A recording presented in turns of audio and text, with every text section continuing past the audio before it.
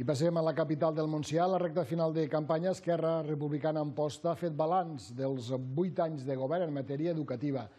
El candidat republicà Adam Tomàs ha recordat les diverses accions que s'han impulsat a la ciutat en relació justament amb l'educació, accions que, segons ell, han fet transformar Amposta com un referent.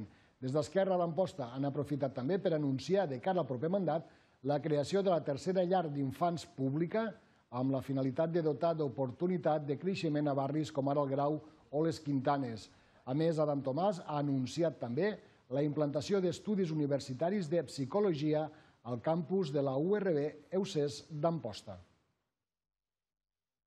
Eh, des d'Esquerra Republicana, aquests eh, vuit anys, el que han fet ha sigut créixer en oferta educativa, eh, tant reglada com no reglada, a tots els nivells educatius que tenim a la ciutat. Per la propera legislatura, i per això estem aquí, el projecte Estrella en educació, però també en dinamització de, de barris eh, antics com el Grau i les Quintanes, és la creació d'esta nova llar d'infants vinculada a una subvenció de Fons Next Generation que el Departament d'Educació ha ficat a disposició de, dels municipis. Una subvenció que serà al voltant de 10.000 euros per plaça. La idea és situar-nos entre 50 i 60 places noves de llar d'infants. El proper mandat Amposta eh, disposarà d'un eh, nou eh, grau d'estudis universitaris que serà de psicologia, eh, en EUSES i que esperem poder-lo especialitzar en psicologia en l'esport. Per tant, al final eh, seguim en la línia que vam engegar fa eh, 8 anys de transformació, de transformació de la nostra societat